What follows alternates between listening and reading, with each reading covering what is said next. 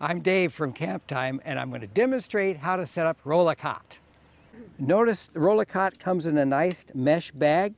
The mesh bag is open only at the two ends, so you pull out the frame from the ends. There's one leg frame and two leg frames. And the main rail sections with the fabric on top. We'll get back to the, to the bag later because it also hangs from the cot when the cot is set up.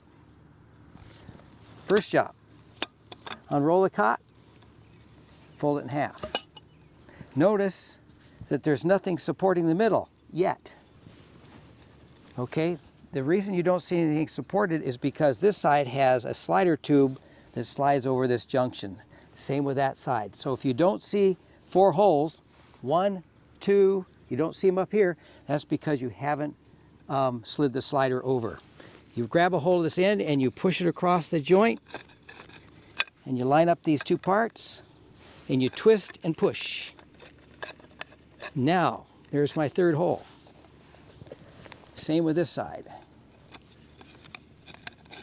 Push it across the center hinged area and you twist the slider as you go and there it is, the fourth hole. So now that we see one, two, three, four, you're ready to set up the frames. Each frame is identical. They fold open like this, and then you slide the wing nut, the uh, stud, threaded studs into the respective holes. You pull up and you open up the Velcro closures and you drop it into the respective holes.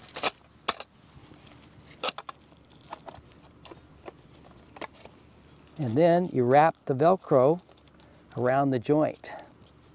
That keeps the frame from falling out. I'll get to that last one here in a second. Open it up.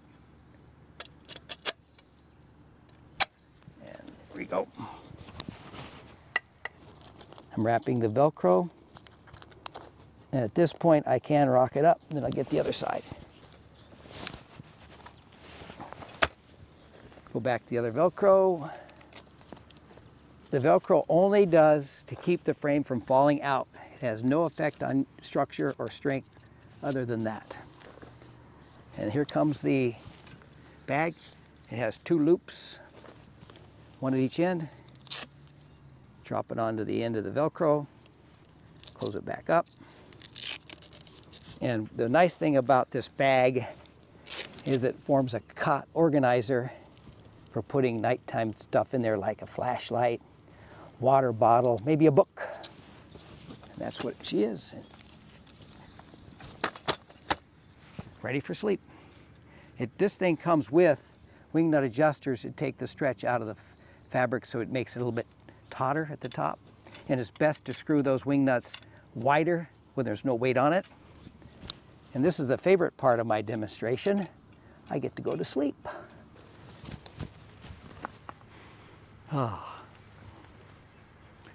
The cot itself weighs 10 pounds. It supports 250 pounds. This size cot is our standard width, 28 inches. It's our standard length, 74 inches measured from the end of the fabric to the end of the fabric.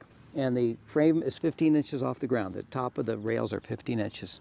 On top of this, you can put an air mattress, one of our cot lines actually has a sleeve in it, so you can slide an air mattress into the sleeve.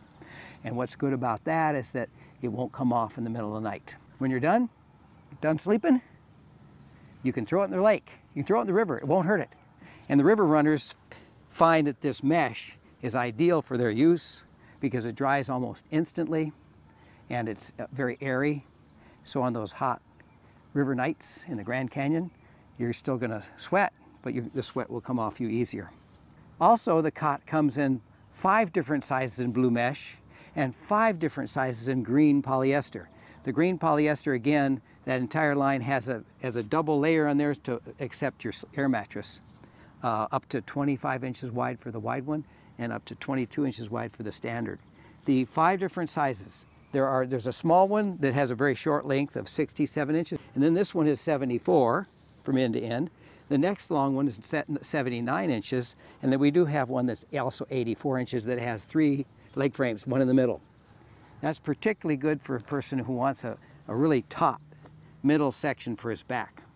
The cot comes in, like I said, blue mesh or green polyester, and the green polyester is the two layers. That's the only difference here.